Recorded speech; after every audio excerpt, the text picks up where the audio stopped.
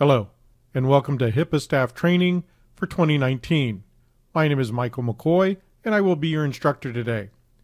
There's been lots of updated guidance to the HIPAA privacy, security, and breach notification rules. We're going to catch you up today. This training is not legal advice, and I am not an attorney. However, we take the information directly from the Office for Civil Rights, who enforces HIPAA, and other HHS or Health and Human Service agencies. There's also a lot of information now put out by the Department of Homeland Security and NIST, the National Institute for Standards and Technology.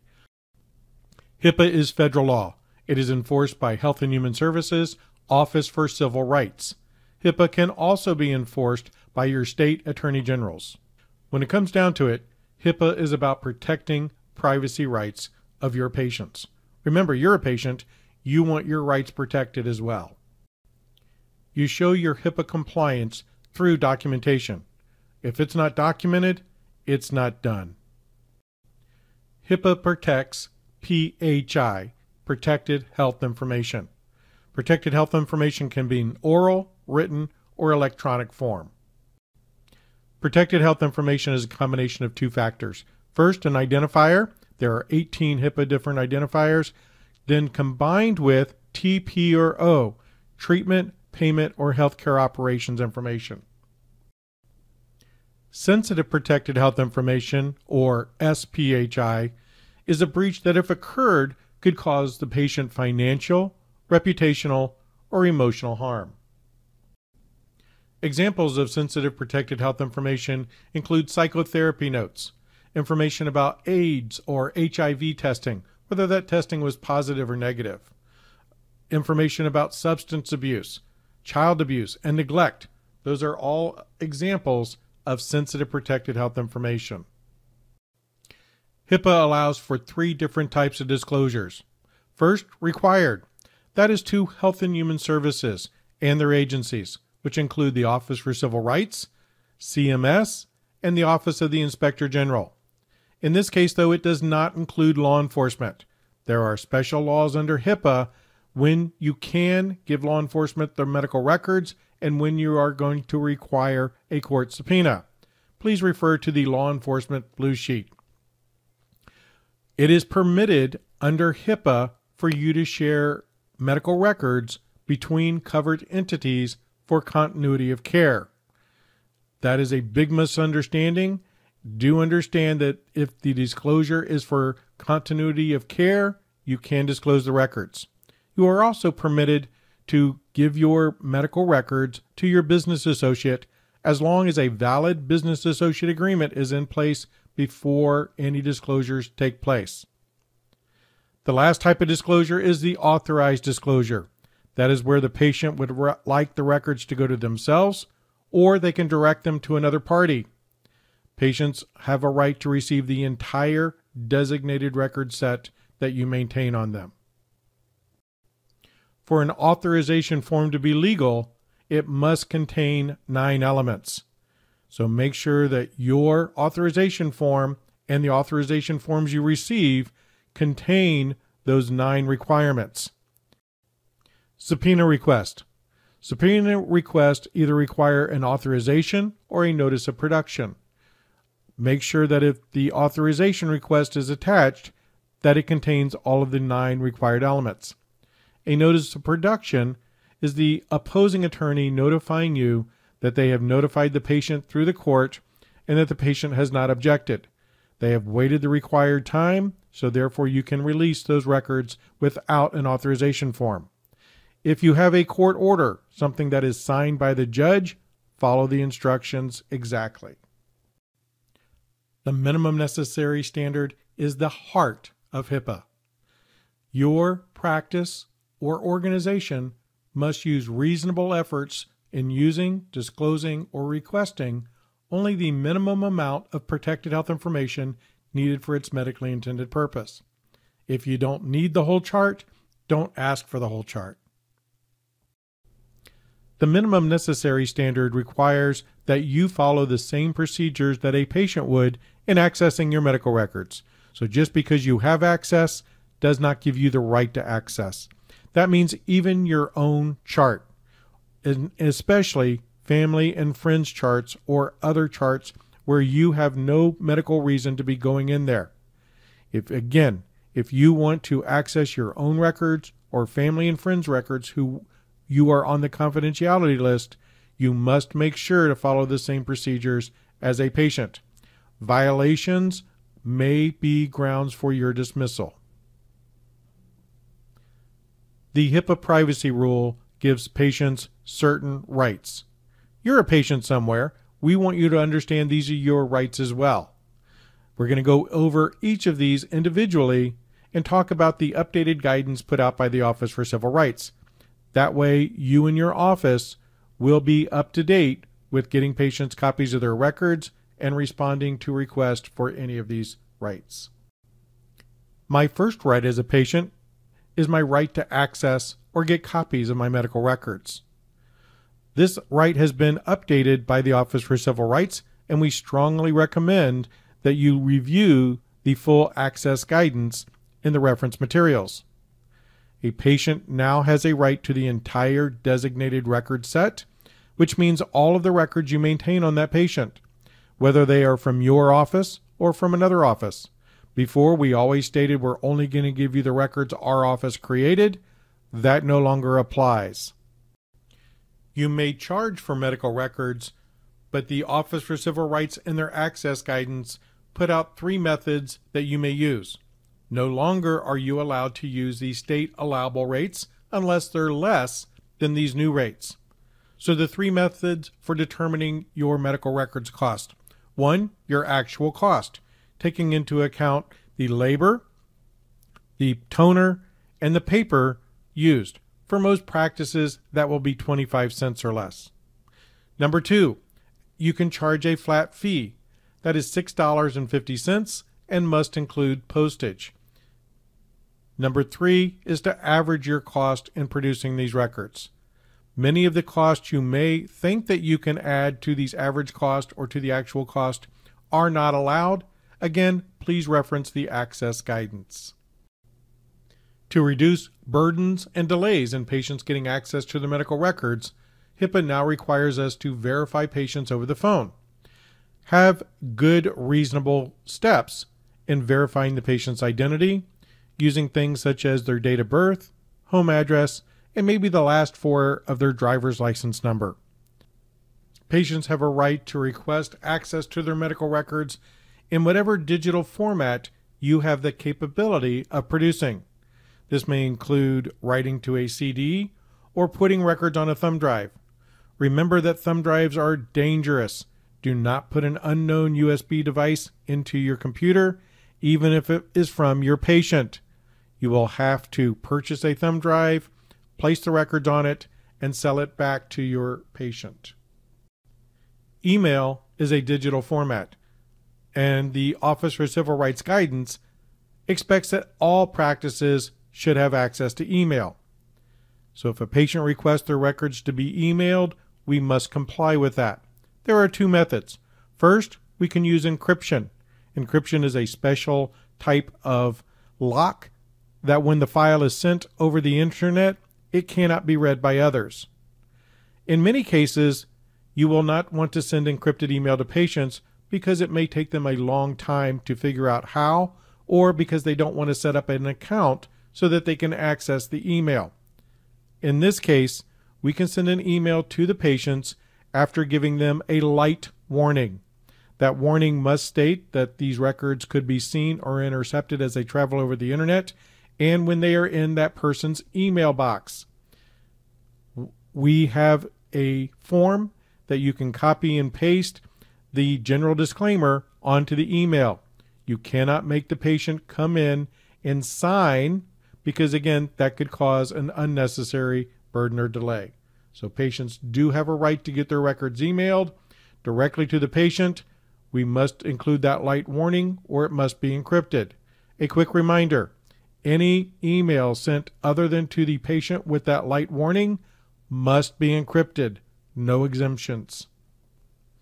Your practice owns the medical records, but the patient has a right to direct them to any other person or entity of their choice. make sure you have a signed authorization form confirming that request. In addition to getting copies of their medical records, patients also have a right to access their medical records directly on your computer system. The guidance states that you must have a workstation available and allow them to take pictures of their medical records should they desire. In the access guidance released by the Office for Civil Rights, they pointed out a few things that you may not require your patients to do. One is to use your web portal for accessing the information that the patient wants. It may be a burden to that patient. Also, you cannot mail a request for the access, that authorization or medical records release form, because again, that could cause a delay in them getting their medical records. The HIPAA regulations give your office up to 30 days to respond to a patient's request for access or copies of their medical records. However, the Office for Civil Rights, especially with electronic medical records in place, expects that access to be granted much faster, and they strongly encourage that. You can deny access based on the fact that it is likely to endanger the life or physical safety of the individual or another person. Again, review the access guidance on when you can and cannot deny access to a patient. Patients have a right to request that you amend their record if they feel that there is inaccurate or incomplete information. If you agree with the request, then you need to amend the record. We can never correct a record once it's been signed off by the physician and let any interested parties know. If you deny the request, HIPAA requires that you send the patient a letter stating the reasons for the denial and allow them to put in a brief statement of disagreement. HIPAA is designed to allow you to have access to your patients to provide good health care. And calling patients with appointment reminders and letting them know that test results are in is allowed under HIPAA. However, patients have a right to request confidential communications. So if a patient would prefer that you call or send any information to a different phone number or address, we must accommodate those requests as long as they're reasonable. HIPAA gives patients a right to request an accounting of disclosures. This disclosure form must go back for a period of six years. Examples of disclosures that you'd have to make are state mandated reporting or court subpoenas. Also, any breach or disclosures outside of a need to know would be disclosable to the patient. You do not have to keep an accounting of disclosures for treatment, payment, or healthcare operations. Patients have a right to receive a notice of privacy practices that is implemented by your practice or organization.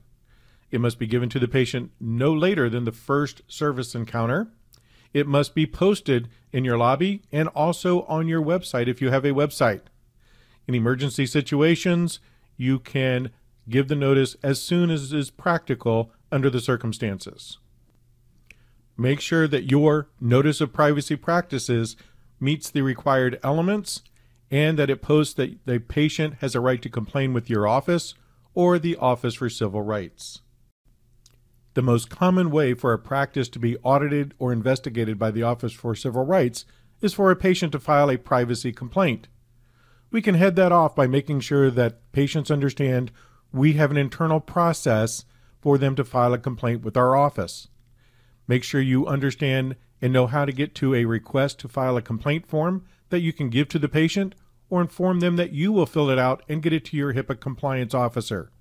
Otherwise, they are likely to go to the Office for Civil Rights web portal and start an investigation of your practice. HIPAA gives patient the ability to restrict the use or disclosure of their PHI upon their request. This uh, also accounts for information to their insurance plan, as long as it's not Medicare or Medicaid, for which the individual has paid out of pocket. The thinking here is that the insurance company does not need to know about it if the patient has paid in full.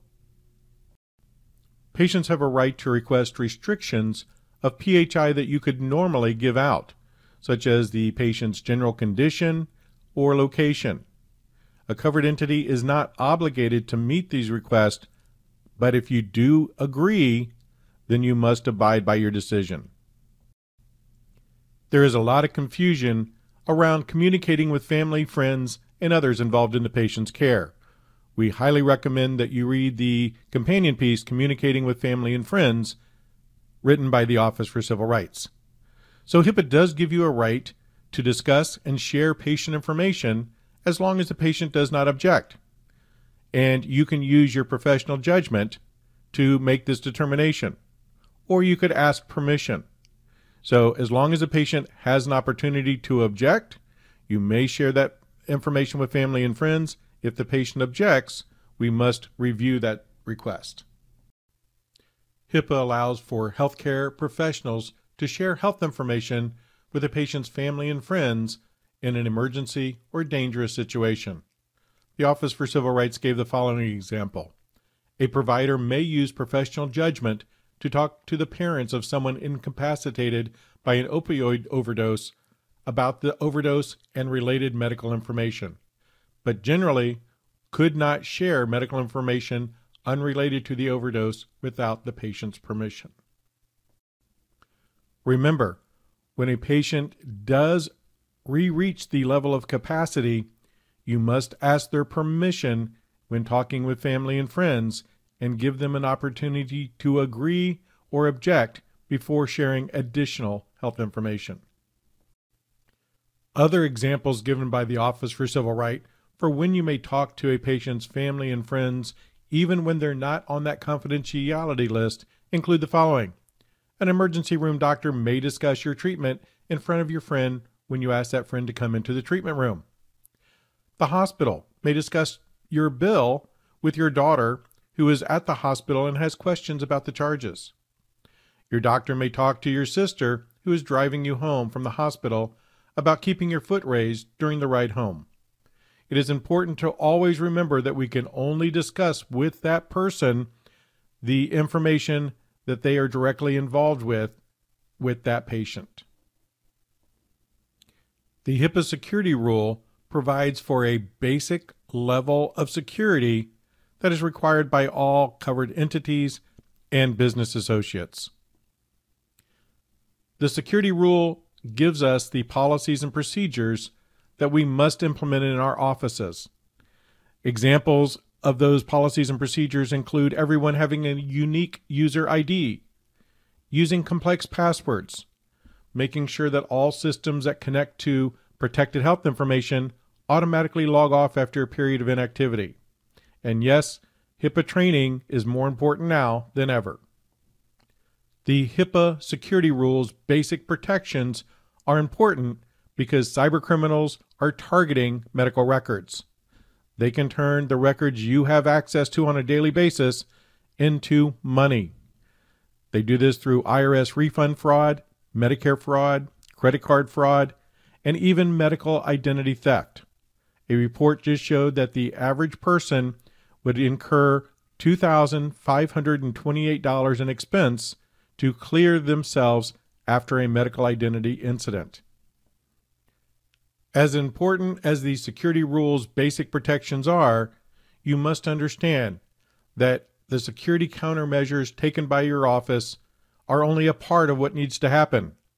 Your behavior as an employee with direct access to the systems is critical and why we must all follow a culture of compliance, thinking security first.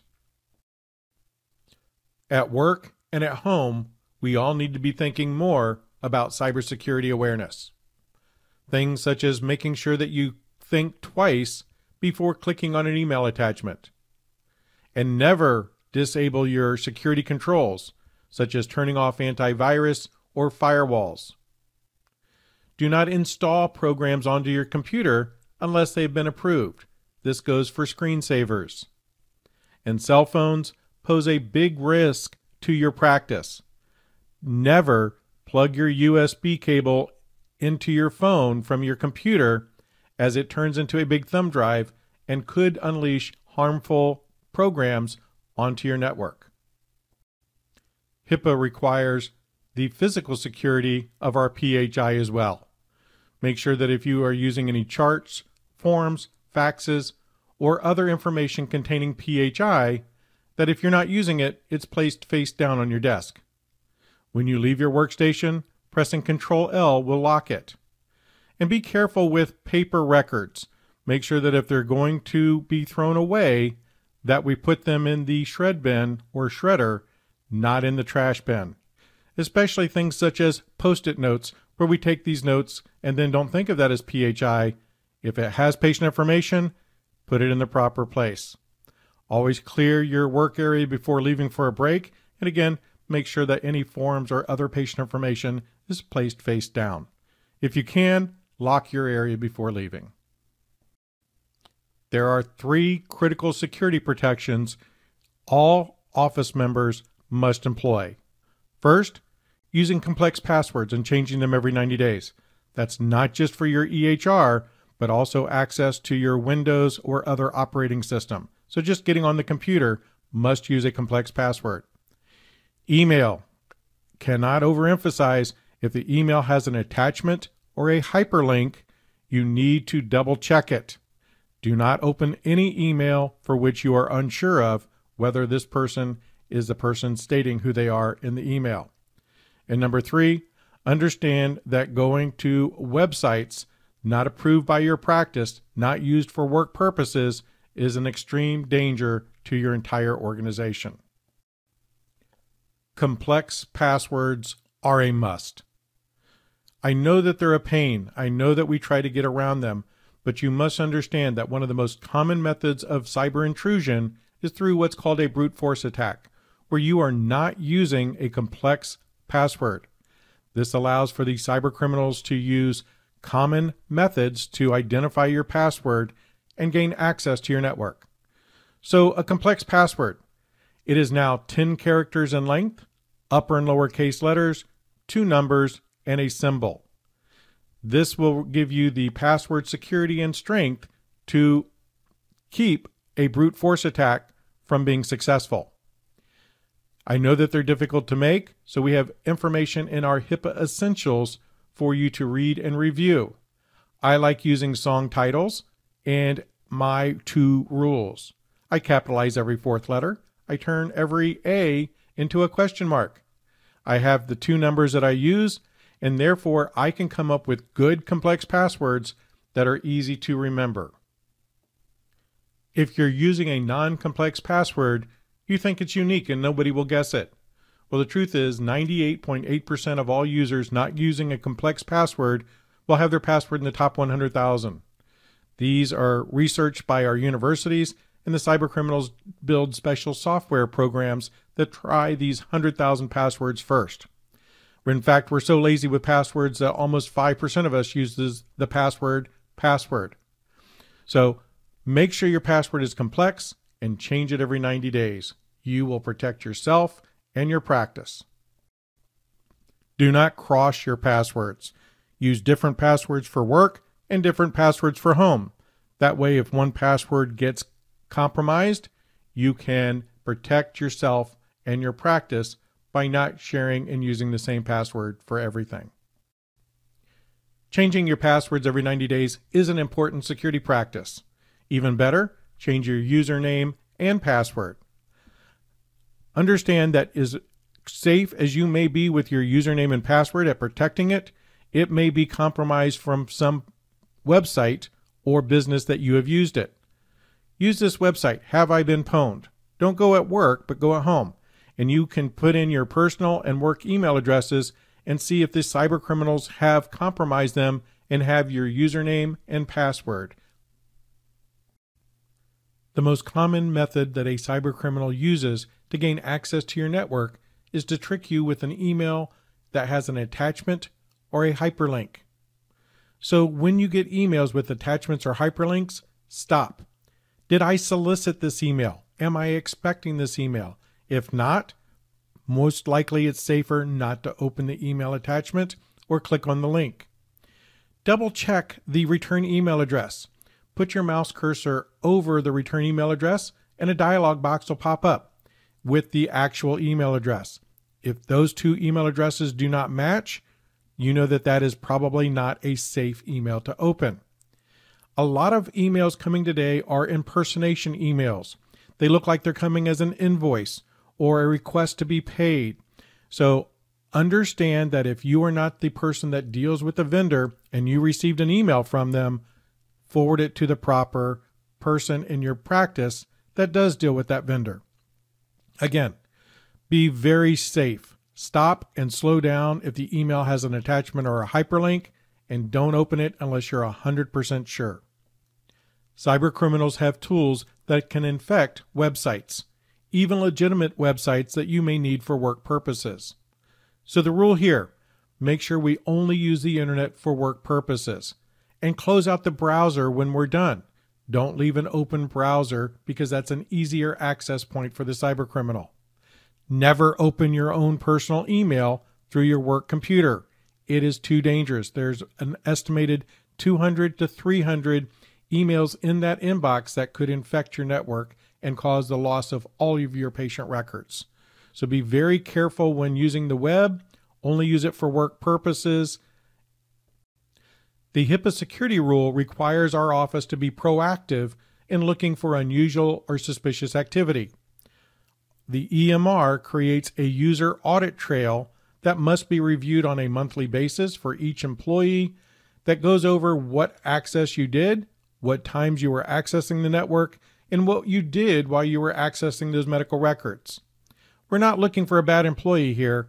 We're looking for somebody's credentials to have been compromised. So please understand you are being monitored by your practice. It is a HIPAA requirement. HIPAA defines mobile devices as cell phones or tablets. If you create, receive, maintain, or store patient information over your mobile device, you must read, implement, and sign your practice's mobile device policy. The mobile device policy will require that you lock your device using a six digit or longer PIN number or password, or use biometric, fingerprint, or facial recognition. Your device must also be enabled to wipe after 10 failed password attempts are put in. You also want to ensure that remote wiping is enabled. Change the default settings. Mobile devices come with settings set to make it easy, not for security. So go through your device settings and make sure that they are set to the maximum security for your device. Disable connectivity to unsecure Wi Fi. Never use public Wi Fi on a mobile device where you're also accessing, storing, or retrieving patient records. And look into antivirus, anti malware for your mobile device as well. Other mobile device security requirements including requiring the device to automatically lock, and making sure that you install security patches and updates as they become available. Again, only use secure Wi Fi connections. Do not use public Wi Fi. Always assume if you're on public Wi Fi that you are being monitored. And make sure you only download and put apps on that device that are approved through the Apple Store, Google Store, or other trusted source. Over the past few years, cybercriminals are using a new malicious software called ransomware. It's targeted at healthcare because it locks up your patient records and demands a ransom for the key to open up those records. To aid your organization in preventing ransomware and other malicious malware attacks, you must always practice good healthcare cybersecurity hygiene. These precautions include never disabling your antivirus or anti malware software. If a dialog box comes up on your computer to do an update for something like Adobe or Java, make sure you get with IT. Or go to the Adobe or Java website directly. Do not click on the dialog box to update their software programs. Never surf the internet for anything other than work purposes. And again, do not check your own personal email from office computers. Always think twice before you click. Remember that email is the most popular method for cybercriminals to intrude or infect your network. So, again, double check the return email address, check it to the actual letter. And again, if you are not familiar with the person sending it or expecting an email with an attachment to come to your computer, do not click on it. Cyber criminals have developed very intricate methods to take advantage of your good human nature. You must defeat your natural inclination to trust and to want to be helpful. It's called social engineering, and social engineering is really just the con man for the digital age. Social engineers use the following deception methods 1. Authority. If I call you right now as Dr. Michael McCoy, there's a good chance that you're going to treat me as a doctor, not knowing who the person on the other end of the line truly is. Likability. We tend to share information with people we like. That information may be what the cybercriminal needs to gain access to your network.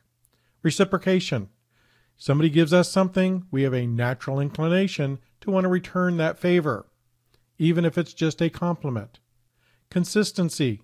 We like to stay constant with our stated values and what we've said in the past. Validation. I know that others are doing it, so I can do it as well. Scarcity. This is a limited time offer. You need to act right now. Be aware that the cyber criminals are out there and that they're doing their best to use these deception methods to trick you into giving them information or access to your network. Social engineers like to use fear, curiosity, or sympathy when trying to get you to click on their link. Also, remember there is no such thing as a free lunch. Using the word free is bound to draw attention and understand that you did not win a $50 Amazon gift card. Other social engineer attacks include clickbait. Something I saw I want you to check out, click this. Here's that cute kitty, click this. Watering hole, getting you to go to that infected website. Also, telling you that you can avoid legal troubles by paying a fine. Usually it looks like it's coming from the U.S. Department of Justice or the FBI Cybercrime Division. Also, be very careful of phishing tools that look like they're coming from your bank or hospital. All of these require that we use common sense to make sure that we are protecting ourselves and our patient records. Use common sense to avoid social engineering traps. Trust your gut feeling. If it feels too good to be true, it probably is. If you feel something is off, it probably is. Stop and think about what you're being asked to do. Hey, by the way, how did you get my phone number? How did you get my email address? I don't know who you are. Good healthcare cybersecurity hygiene requires that we always be on alert, looking for signs that we may have been infected. One of those is maybe we can't find files that we knew were on our system, or the computer has noticeably slowed down. Realization that a link or a file attached opened may have been malicious in nature.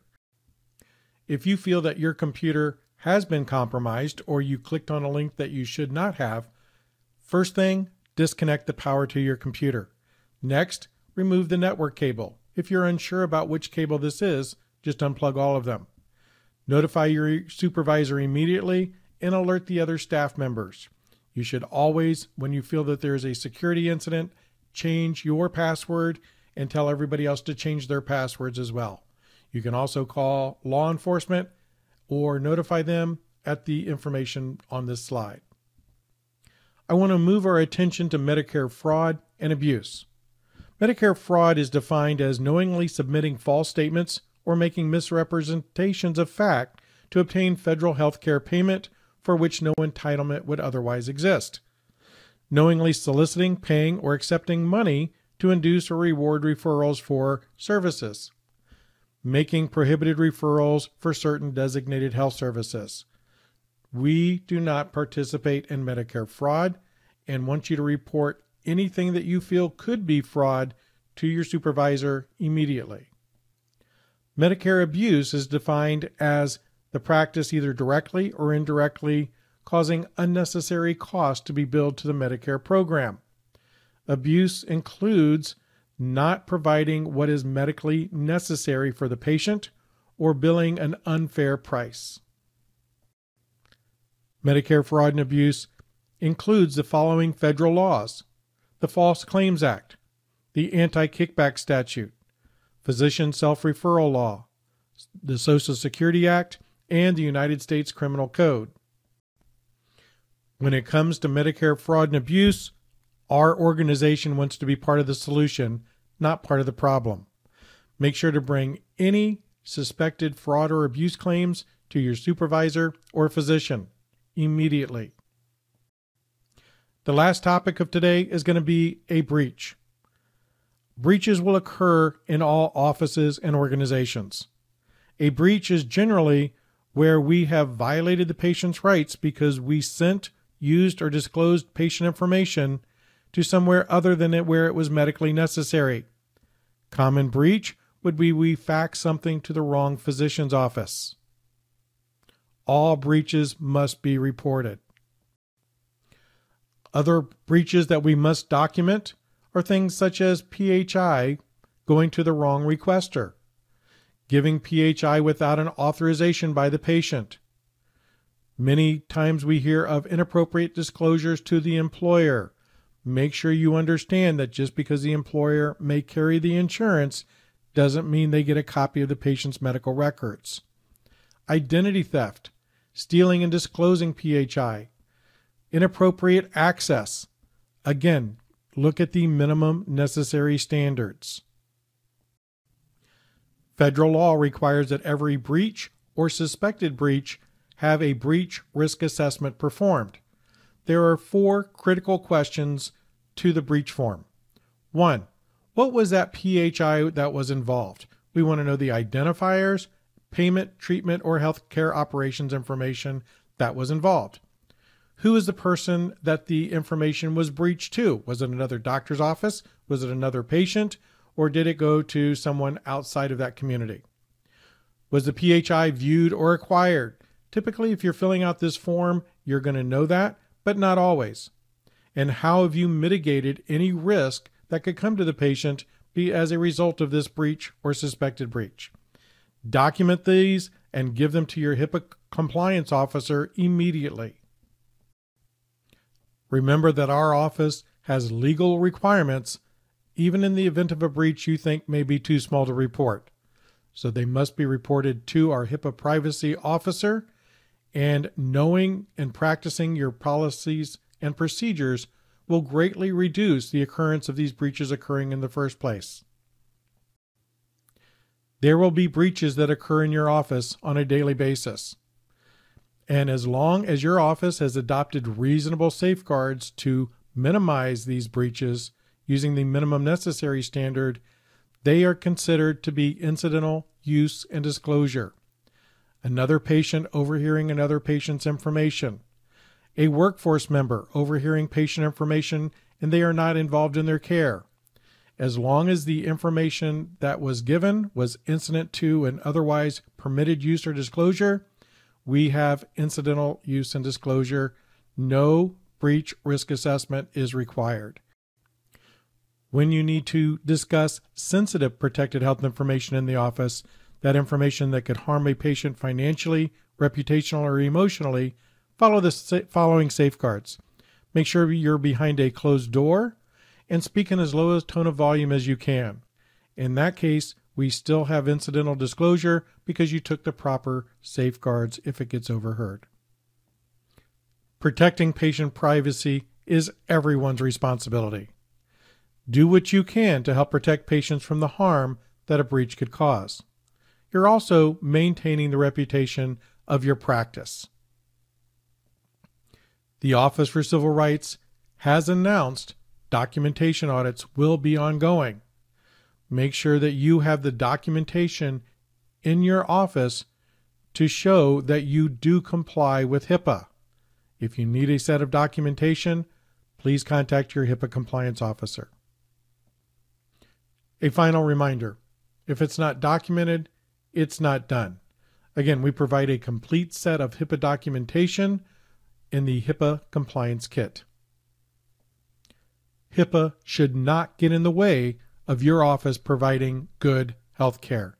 If you have any doubts or questions, refer to the guidance materials that we've provided or check with your HIPAA compliance officer, physician, or office manager. I want to thank you for your time and attention today. If you have questions or need further information, please check out the HIPAA Essentials booklet and guidance documents that come with this training. HITECH Compliance Associates is available to help you with all of your HIPAA compliance needs. Please contact us at the information on this slide. Again, we want to thank you for spending this time with us today and feel free to contact us if you have additional questions. Thank you.